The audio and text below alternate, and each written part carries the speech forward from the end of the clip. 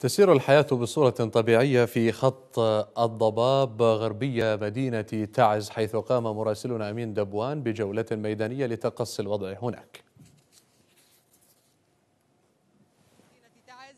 الحياة تسير كالمعتاد المواصلات والسيارات والأهالي ولا صحة للأنباء التي تتحدث عن قطع خط الضباب. طبعا هناك محاولات تسلل كالعادة من قبل الميليشيا الإنقلابية من لبعض المواقع في جبل هان من الجهة الخلفية. لكن الجيش الوطني أقوى بكثير من ذي قبل وال هي ساعات قليلة يقول قيادة الجيش وسوف يتم استعادة المواقع البعيدة في جبل هام التي تم التسلل إليها وهي المحاولة الثالثة الفاشلة من قبل الميليشيا الإنقلابية. لاستعادة بعض المواقع والتسلل إليها وفشلت طبعا في محاولات سابقة كثر. طبعا لمن يعرف الطريق هذه آه، مباني رعاية. وفي الجانب الآخر المنشآت سد الجبلين شركة النفط فرع تعز إذا تعز قوية ولن تنكسر يقول أبناؤها والجيش الوطني. أمين دبوان. يمن شباب تعز.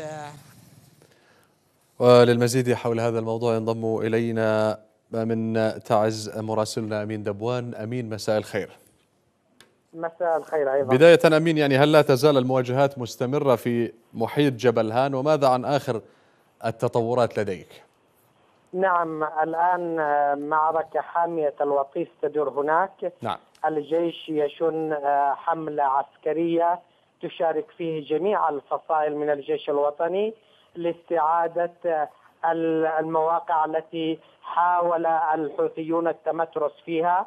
طبعا ليلة أمس تسلل أفراد من الميليشيا الانقلابية إلى أحد المواقع. طبعا جبل هان هو سلسلة جبلية طويلة في الجانب الغربي لكن يحرص الجيش الوطني على تأمينه بالكامل حاول الانقلابيون أمس التسلل إلى أحد المواقع والتمترس فيه نعم. لكن الجيش الوطني مصر وخاصة في هذه اللحظات على استعادة الموقع الذي تم التسلل إليه.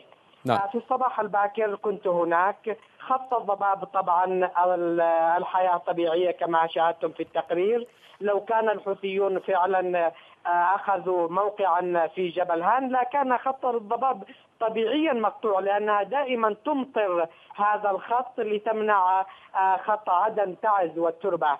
لكن بالفعل كنا هناك للصباح وحتى الظهر وكانت الأمور فقط في منطقة واحدة من الجبل والجيش خلال هذه الساعات يخوض المعركة لاستعادتها. طبعا هذه المرة الثالثة منذ استعادة الجبل هان في قبل عام ونيف والميليشيا تحاول مرارا إلا أنها تتكبد الخسائر وكما المعلومات تقول أن هناك جثث كثيرة تصل إلى محافظة إب جراء الفشل الميليشيا. نعم يعني في ظل هذه التطورات الميدانية نريد ان أن نستفسر حول دور طيران التحالف، هل هناك مساندة أو دعم من قبل طيران التحالف؟